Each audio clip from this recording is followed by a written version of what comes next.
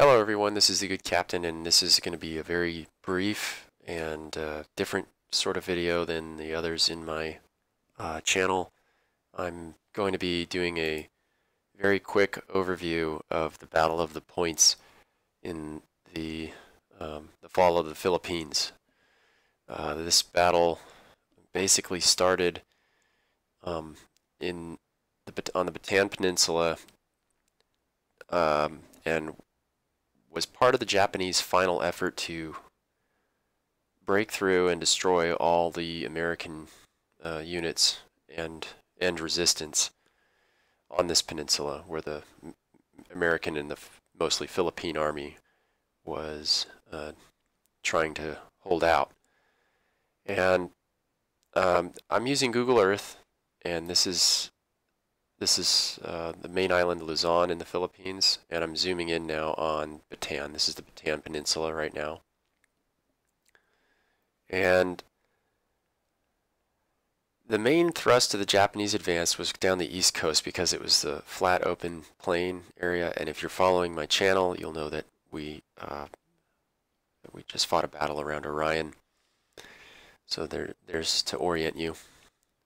But the Japanese general um, Homma, he he planned a final thrust um, towards the end of January in 42 that would break through this defensive line on the east and also um, in conjunction with an amphibious assault originating from Olongapo that would hit what's called the points. And the points are all down here. You can see these jagged strips of land that jut out into the ocean. These are the points. Now, the original landing spot was supposed to be uh, at a, a, quick little pause here. Let me get the name right.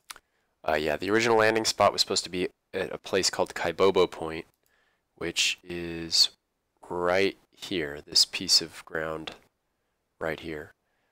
Um, instead, uh, and what the, the objective was to, of course, get in behind the American lines, um, ideally force the Ameri uh, Philippine army out of Bagac, uh, force them to fall back, and if it worked out really well, uh, they were to form up and advance on, I'm gonna, i hope I don't mispronounce this, Mariveles, this port area here. Okay, there's a major naval base here, or at least a naval base at the time. Instead, what happened, okay, so now I actually, I made overlays. From here on out, I'm going to use my overlay that I made. So this is the Battle of the Points. It starts on the evening of January 22nd. So the planned invasion was, again, right at the top of this map. Uh, Bagac's actually uh, further north. But right here where the color starts on my printer, This is uh, where that initial landing spot was supposed to be. The actual landing, um, they, they missed it in the dark and landed um, a battalion of Japanese troops in Quinauan Point, on Quinauan Point here. And in fact, part of them, part of this unit was lost in the dark and continued further and further and further south until they got to Longoskawayan Point. And uh, don't worry about these other um, annotations I have. Uh, just they landed there at 0840 on 23 January to show you how long it took for these guys who were meandering around in the water trying to find their way. Um, but so the landing was marred from the beginning. PT-34 attacked at night and sank two of the transports, um, two of the landing craft, I should say, and and then they landed on the beach and set up. Um, but they were immediately, uh, a containment operation occurred immediately by the local resources available, which were grounded pilots, naval personnel who had no ships to or jobs because the ships, the Asiatic fleet was had departed or uh, had been destroyed, etc. Um, and same with here, uh, and Philippine police. I forgot to mention. So those three elements sort of working together really sort of third-rate troops, um, contained both of these landing points. Uh, and The Americans' command wasn't actually worried about it. Again, the main fight was going on on the east uh, coast there of Bataan um, until the Japanese doubled down. So this second battalion uh, had a sister battalion, the first battalion, and don't worry about the mess. We're going to go through this real, real slow. The first battalion uh, was launched four evenings later. So remember, they, we started on the on the evening of the whoops, sorry, we started on the evening of January 22nd. So four nights later, um, it's actually later in the evening. It's more more nighttime. The first battalion tries to reinforce Quinauan Beach, which was here. Okay, so they try to do this. They miss it again. Not not by much, but they do miss it. And first battalion lands at Anyasan Point. so now we have four separate locations where Japanese troops are.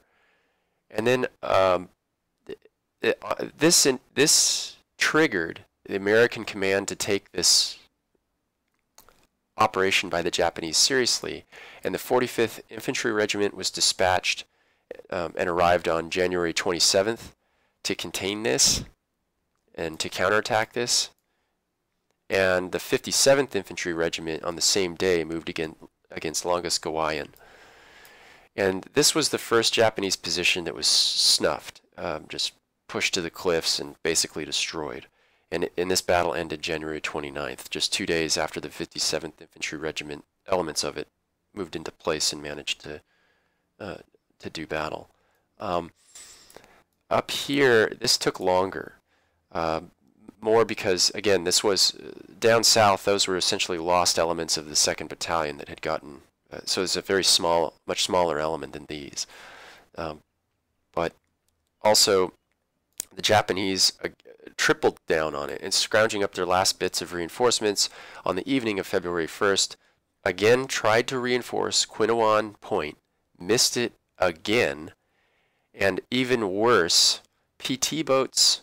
Uh, apparently, this was the evening because P-40s, the the uh, Far East Air Force still had four operational P-40s that attacked this uh, as the sun was setting and did quite a bit of damage. And then at night, um, PT boats attacked and sank more. So I, th I, think they sank something like half of this reinforcement group. The reinforcement group misses Quinauan Beach, lands at Canas Point, and just becomes another target for the for the, for the 45th Infantry Regiment and um, pilots and sailors and police officers of the of the Philippine um, constab constabulary. Um, anyway, the police force. Okay, uh, so this 45th Infantry Regiment continues to attack and push, and even though it was a it was fairly apparently a fairly difficult operation, the Japanese, of course, not giving up, hiding out in caves and rocks and outcroppings. It didn't end until February 13th, but when it ended, it it it really was fairly decisive in that the Japanese lost two whole battalions. The Japanese tried to scrounge a relief effort to get some of their guys out of there, but they they ended up pulling out something like 30, 34 infantry, uh, 34 troops, I should say. It was really a, an abysmal, total failure by the Japanese to open up this sort of second front um, behind the American uh, line of main line of resistance on the east side of uh, of uh, sorry uh, over here on the east side of Bataan near Orion, and then in conjunction with this total disaster down here and the points, the battle around Orion on this line of resistance here seesawed for a while. It was a grinding, bloody mess, but uh, the Japanese eventually just ran out of steam and completely pulled back and left the American and Philippine Army units alone uh, for very nearly two months. And so I just wanted to go over that before um, continuing another video. So that was the that's a very brief synopsis um, and look at the Battle of the Points. So thank you for watching this. All the best from the good captain, and bye-bye.